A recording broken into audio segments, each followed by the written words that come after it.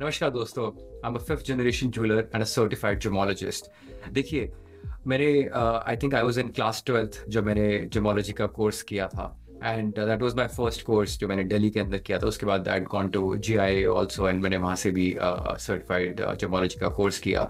So the love for stones it's outstanding मतलब आप ये स्टोन्स है जैसे कि आज की वीडियो में मैं आपको स्टोन्स दिखाने वाला हूँ। Once you have a look at these stones once you hold them in your hands uh, कुछ एक अलग ही लेवल का इनसे प्यार हो जाता है and you feel so close to them because you know end of the day there natural elements ये सब नेचर uh, से निकले हुए हैं ज़मीन के अंदर से निकलते हैं रियल स्टोन्स तो आज मैं आपको एमरल्ड्स uh, की वीडियो दिखाने वाला हूँ कि एमरल्ड्स के बहुत सारे आपको रियल पीसेस में दिखाऊँगा। एमरल्स के ऑरिजिन के बारे में बताऊँगा कि एमरल्स कहाँ कहाँ से निकलते हैं। स्पेसिफिकली आज की वीडियो में मैं आपको बेनिफिट्स और किसको पहनना चाहिए किसको नहीं पहनना चाहिए उसके बारे में इन्फॉर्मेशन नहीं देने वाला हूँ। In case you want that information emeralds के ऊपर so have recorded a video emerald पे कम्प्लीटली तो आप इस लिंक पे क्लिक कर सकते हैं और आप उस वीडियो को देख सकते हैं। तो देखिए ये एमरल्स uh, है मेरे सामने। तो एमरल्स के ऑरिजिन की बात करता हूँ तो कोलम्बिया ब्राज़ील जाम्बिया अभी लेटेस्ट ऑरिजिन है जहाँ से यूजुअली काफ़ी सारे स्टोन्स निकल रहे हैं, ये माइंस ओपन है और वास्टली रिसोर्स अवेलेबल है इन माइंस के पास। But other than that Afghanistan Russia Australia United States और काफ़ी सारे और कंट्रीज़ हैं जहाँ से एमरल्स की सोर्सिंग होती है। आज स्पेसिफिकली हम लोग ये जाम्बियन एमरल्स हैं जिनकी हम बात कर रहे हैं।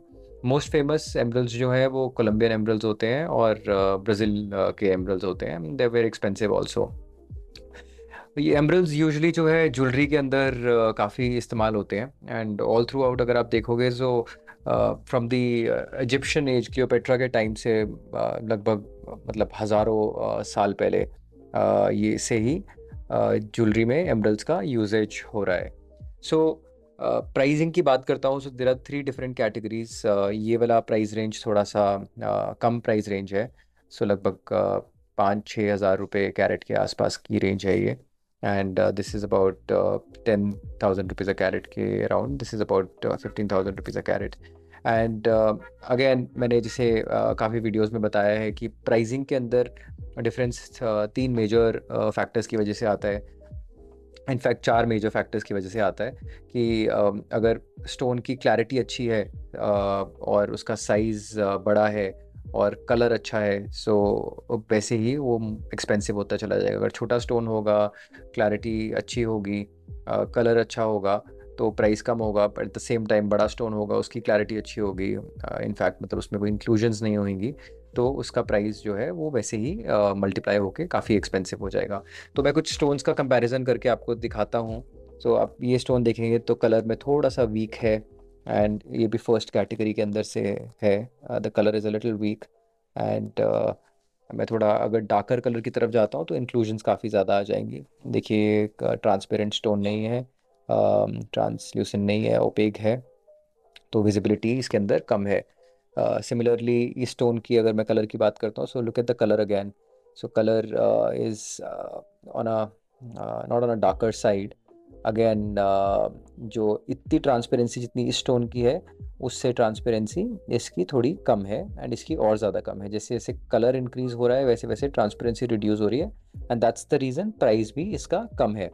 सिमिलरली uh, अगर मैं और कैटेगरीज़ की बात करता हूँ इससे थोड़ी एक्सपेंसिव uh, रेंज की बात करता हूँ और इसके अंदर आपको दिखाता हूँ। So look at this stone अब कंपैरिजन देखिए कलर में तो this is a better colour stone cut is also better fourth factor जो था वो कट का था अगर कट अच्छा है स्टोन का तो प्राइस वो ज़्यादा फेच करता है। Look at this stone it's again better quality than this in terms of colour in terms of clarity similarly मैं स्टोन की बात करता हूँ सो so, इसमें भी काफ़ी ट्रांसपेरेंट स्टोन है you can see through price is again different than this so ये कैटेगरी है and then the last category जो अभी के लिए हमारे पास अवेलेबल है with the pricing is this category look at the kind stone this is काफ़ी अच्छा स्टोन है एंड uh, ये सारे जो हैं स्टोन्स ये फिफ्टीन थाउज़ेंड की रेंज में आते हैं. एमरल्स के साथ एक और uh, अच्छी चीज़ है कि आप अगर सर्टिफिकेट देखते हैं एमरल्स का कोई भी so this is the certificate जो जीटीएल का सर्टिफिकेट है जो मैं सबको रेकमेंड करता हूँ कि आपको यही लेना है। Do not take any other certificate या फिर जी जे ई पी सी जैसे इसमें लिखा हुआ है G J E P C certified lab है ये। सो इट्स ऑलवेज रिकमेंडेड कि G G J E P C certified labs ही आप लोग लीजिए। एंड सर्टिफिकेट के अंदर वेट लिखा होता है कलर लिखा होता है। कट uh, क्या है वो लिखा होता है। डायमेंशंस कंक्लूजन uh, क्या है। कि इस पर लिखा है जिसे result result confirm natural origin origin भी बताने वाले सर्टिफिकेट्स होते हैं बट वो थोड़े एक्सपेंसिव होते हैं लगभग पाँच हज़ार रुपये uh, उसकी कॉस्ट आती है सर्टिफिकेशन कराने की. So lot of people don't do that क्योंकि लगभग इस सर्टिफिकेट को कॉस्ट करान uh, मतलब सर्टिफाई कराने की स्टोन को कॉस्ट आती है पंद्रह सौ दो हज़ार रुपये but at the same time अगर uh, मेरे को ओरिजिन भी जानना है तो उसकी कॉस्ट फाइव थाउज़ेंड के अप्रॉक्स आएगी. सो so, आप देख सकते हैं लास्ट में एक स्पेसिफिक कमेंट लिखा हुआ है indications of clarity enhancement with oil fissures so अब इसका मतलब क्या हुआ कि देखिए ऑयल एक इंपॉर्टेंट फैक्टर uh, है जो कि स्टोन के अंदर रेगुलर uh, यूज़ के अंदर हमें मतलब लगाना होता है। तो जॉनसन्स बेबी ऑयल होता है। अगर हम उसको मतलब ऑयल के अंदर हम स्टोन को नहीं रखेंगे। जैसे एक पैकेट लिया उसके अंदर दो ड्रॉप्स ऑयल डाली और उसके अंदर स्टोन रखा जाता है। अगर वो नहीं रखेंगे तो स्टोन्स के अंदर क्रैक्स आने शुरू हो जाएँगे। एमरल्ड हैज़ अ टेंडेंसी कि उसको एब्जॉर्ब करता है वो ऑयल को अपने अंदर। सो so, अगर ऑयल नहीं होगा if you wear it also it's recommended कि आप रेगुलरली ऑयल या क्रीम का यूज़ कीजिए ताकि आपका स्टोन जो है वो सेफ़ रहे। अदरवाइज़ अगर क्रैक्स आ गए स्टोन में तो वो मतलब इट कैन ब्लास्ट ऑल्सो मतलब ब्लास्ट तो नहीं बट क्रैक फट सकता है स्टोन तो थोड़ा अजीब लगेगा आपको पहना हुआ। And that's the reason certificate के अंदर ऑयल uh, लिखा आता है। But otherwise it it has no correlation these are real stones natural stones and अब जब भी कोई स्टोन ले रहे हैं तो मेक श्योर sure कीजिए कि वो वाले स्टोन्स uh, लीजिए जिनका सर्टिफिकेट कहता है कि वो ओरिजिनल है उसके अंदर कोई ट्रीटमेंट uh, नहीं हुई भी है।